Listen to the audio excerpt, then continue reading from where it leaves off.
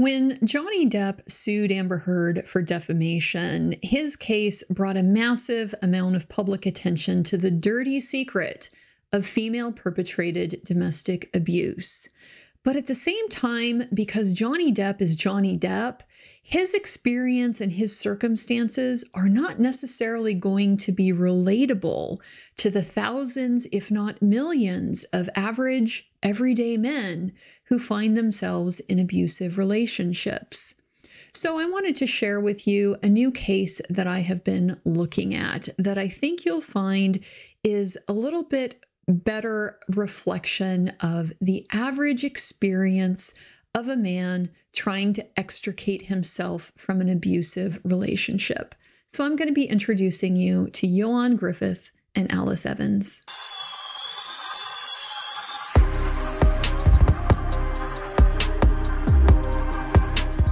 This case first came across my radar about two years ago because there was a lot of public reporting about the split. Now, I had never heard of Ioan Gruffudd or Alice Evans when I started seeing stories about this breakup. So I learned that Ioan Gruffudd is a Welsh actor. He's probably best known for starring in Horatio Hornblower, uh, which is a British series. I never watched it, uh, but I do know that the original Horatio Hornblower was played by the greatest actor of all time, Gregory Peck. So, pretty pretty big shoes to fill there. And I learned that Alice Evans uh, also had appeared in some different films. Uh, she, I think, is best known for uh, a starring role in 102 Dalmatians. I also did not see that. Uh, but that is apparently where she and Ioan Gruffudd first met. Uh, this was back in 2000. They had a relationship for several years, ultimately married in 2007, and had two children, their daughters Ella and Elsie. So they had been married for approximately 13 years in 2021 when this very public split happened. So while I became aware of this story pretty early on in its public unfolding, it really didn't capture my interest right off the bat because it struck me as just a salacious tabloid story about a particularly nasty Hollywood adjacent celebrity breakup. And you know, divorce law really isn't my thing. I'm just not not that interested in it. It's not my bag. But when you do criminal defense work, you get an awful lot of experience with domestic abuse. Somewhere in the ballpark of 40 to 50% of all police reports are domestic violence related. It's an enormous part of your caseload. And so, through that, you inevitably end up being intertwined with these other aspects of the justice system that deal with domestic relations. Your client's kids might be taken and put into foster care. Uh, they might have a a dependency case going where your client is going to have to engage in certain services to remedy parental deficiencies to get access to their children. There might be situations where you have restraining orders, where you have pending divorce cases that can be affected by the outcome in your criminal case.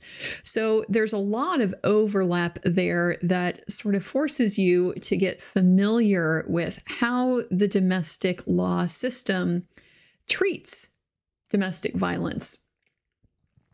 There's also the fact that as a criminal defense attorney, you tend to be alert to the circumstances that can tend to produce false accusations, and particularly false accusations by children. It's always something uh, in criminal defense that you're going to be alert to, and you learn a lot about the types of circumstances uh, that can tend to suggest that false accusations might be at play here. Things like parental alienation, uh, things like subjecting the children to you know suggestive and coercive types of circumstances uh, in, in order to to manipulate them to use them as a tool in this related dispute between the parents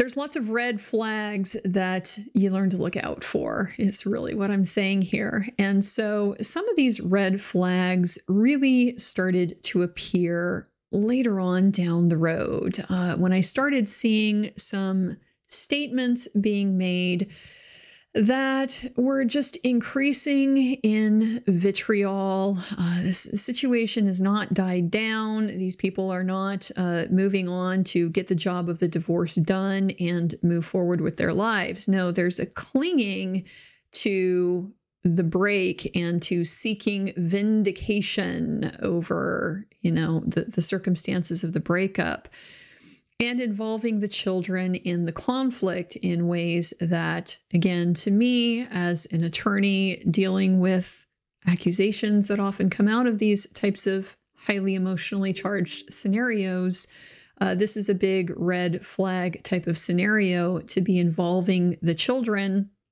and uh,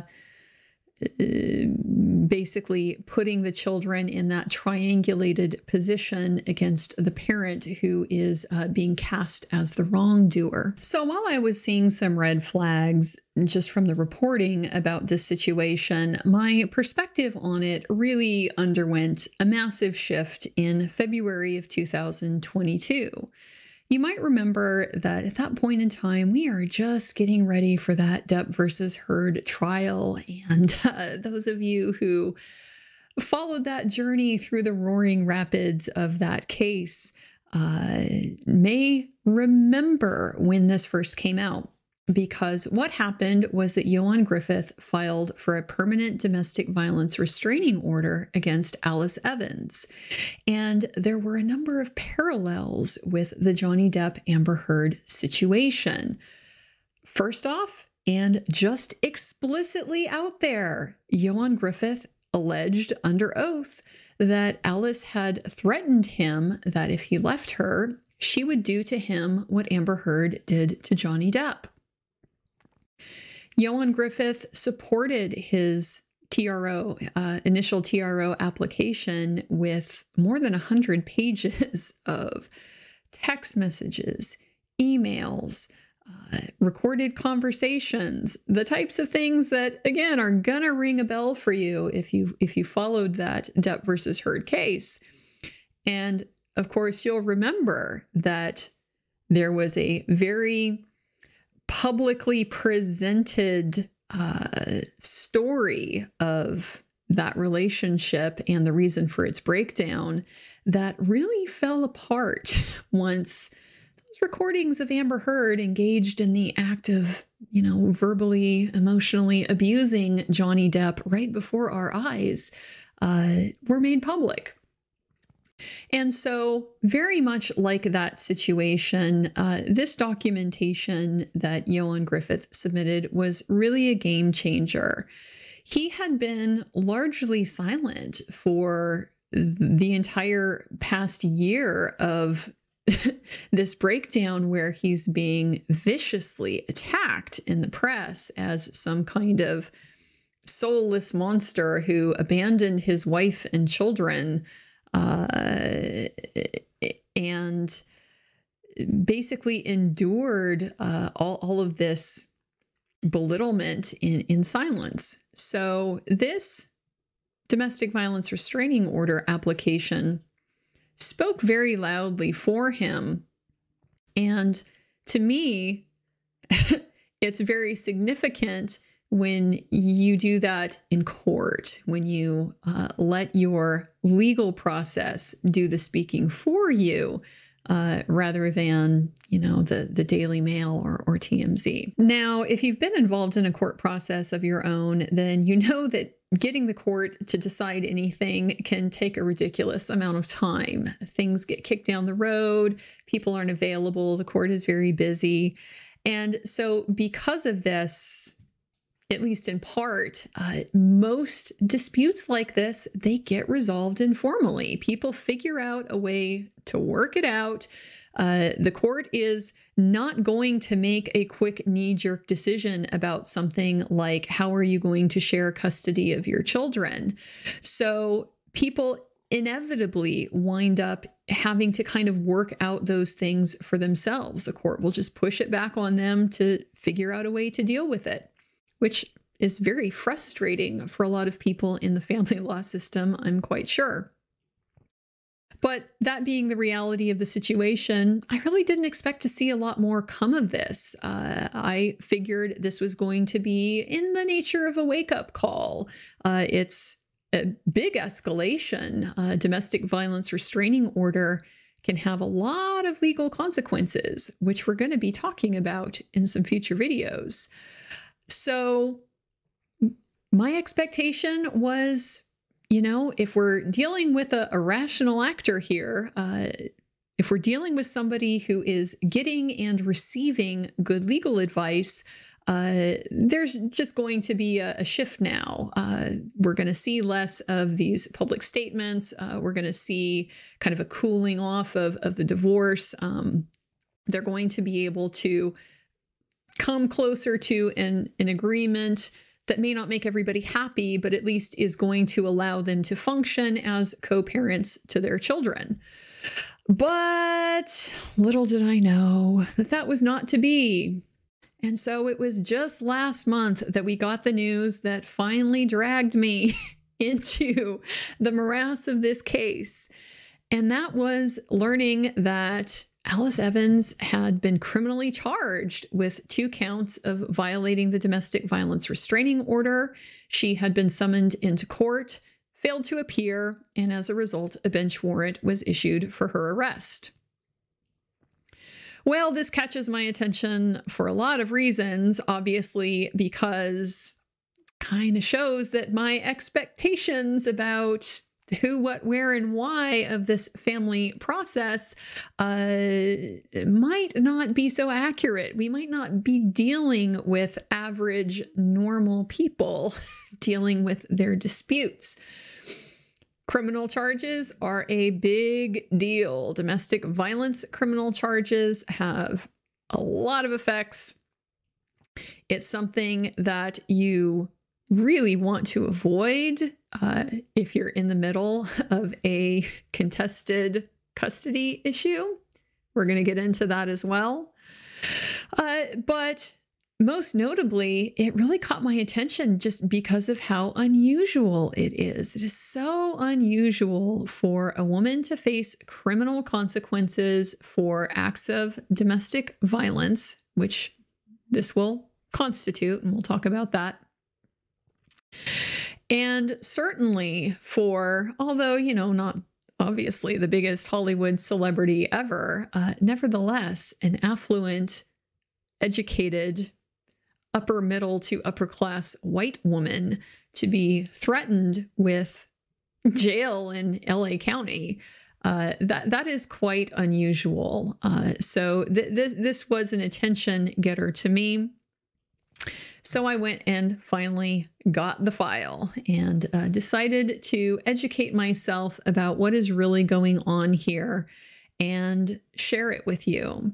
So, the reason why I think this case is an important one for us to talk about is because, like I said up front, this is much more of an average person's experience, an average man's experience of domestic violence uh, in a relationship than what we saw from from Johnny Depp. Um, I'm certainly not trying to minimize Johnny Depp's experience. It was extreme in many ways. The man had his finger chopped off. Uh, but of course, Johnny also has resources. He has other houses he can go stay in. He has friends that he can reach out to. He has connections in the industry.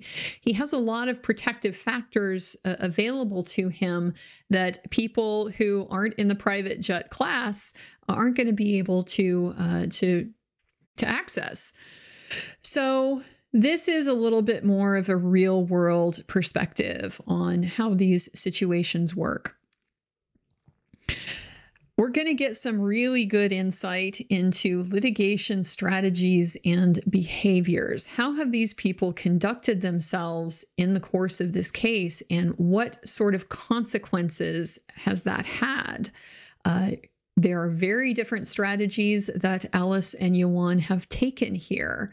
Uh, and so we're we're going to look at the extent to which these are good strategies to employ and the extent to which these are destructive, self-destructive, and destructive to others. Um, the last thing is that there are also some, from my perspective, interesting substantive legal issues to look at here. The law of domestic violence. We're going to be looking at the interactions between domestic violence, criminal courts, criminal accusations, and custody disputes. We're going to be looking at some of the bigger philosophical issues that come into play when you're talking about child custody at all. The conflict between parental rights, having a, a fundamental due process based right to parent your children. Uh, against the state's interest as what's called parens patriae in protecting the well being of children and in making decisions, custody related decisions that are based on the best interests of the children. And we're going to look at how parental alienation remains a very difficult issue for the courts to handle, in part because of these conflicts and the challenges of recognizing and remediating the trauma that is inflicted upon a child when they are placed in the middle of a high conflict situation uh, involving the parents. So, I wanted to give you this kind of 10,000 foot introduction to the case to mainly let you know why this caught my attention, why this is a case that interests me and has topics that I think are important and worth discussing. So, in the next video, we're going to start moving into the deep dive phase of the coverage of this case. And we're going to look specifically at the DVRO uh, proceedings. We're going to look at the process, how it unfolded, we're going to look at the allegations, the evidence that supported them, uh, and we're also going to look at some of the strategic decisions that were made in the course of that litigation and the downstream consequences that we are beginning to see and are likely to see in the future as a result of those decisions. So, if dealing with a high conflict divorce with allegations of abuse is a topic that interests you, well, I hope you'll stick around and uh, I look forward to seeing you in the next video.